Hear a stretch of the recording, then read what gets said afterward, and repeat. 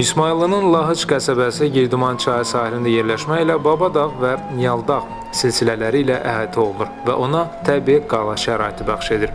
Belə bir coğrafi məkan qədim zamanlarda Lahıcın xarici təsirlərdən, basqınlardan yaxşı müdafiə olunması üçün imkan yaratmışdı. Lahıcın ən möhtəşəm abidəsi isə Girdiman çayının sahilindəki 72 otaqlı 3 mərtəbəli Hacı Paşa və Hacı Qurban qardaşlarının inşa etdirdiyi binadır.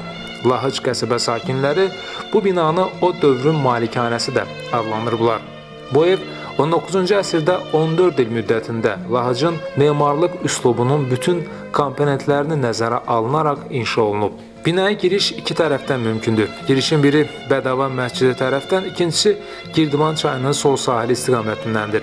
Bu belə iki mərtəbə idi. Bu tərəfi, o tərəfi üç mərtəbədir. Bu tərəfi iki mərtəbədir.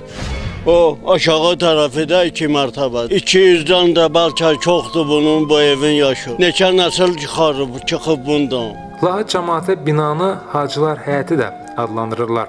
Bədəvan məscidi də xeyriyyəçi qardaşların şəxsi vəsaiti hesabına tikilib və Lahıc cəmaətinin ixtiyarına verilib. Lahıc tarixi mədəniyyət qoruğu elan olunduqdan sonra 72 otaqlı tikilinin dövlət tərəfindən qorunan abidələrin siyahısına daxil olunması üçün Lahıc cəmaəti tərəfindən müraciət edilsə də, bu möhtəşəm tarixi abidənin qorunub saxlanılması üçün hələ ki bir iş görülməyib. Binada ə, ə, deməli deyildiyinə görə 72 otaq mövcud olub və bu, e, deməli hər bir e, otaqların qarşısında balkonlar dairəvi şəkildə, yəni həyat düzbucaqlı şəkildədir.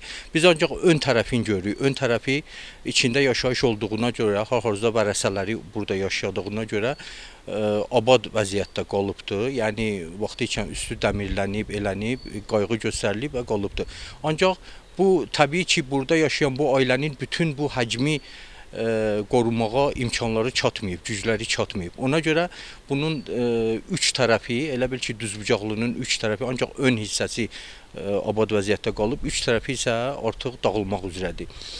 Bina elə əvvəldən təbii ki, inşa olunanda Lahucun digər binaları kimi üstü torpaq olub. Ona görə sonradan üstünü ə, örtə bilməyib. Daha doğrusu bunun yəsi olan, yəsi ə, güman edilən Hacı Qurban e, Lahıcın mesenat şəxslərindən birisi olub.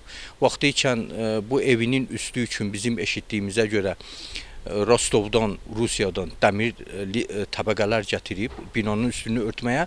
Lakin bu bina ilə üzbəyüzdə olan bu məhəllənin məscidi olan Bədöyü məscidi 1200 1791-ci ildə inşa olunmuşdur bu məscid.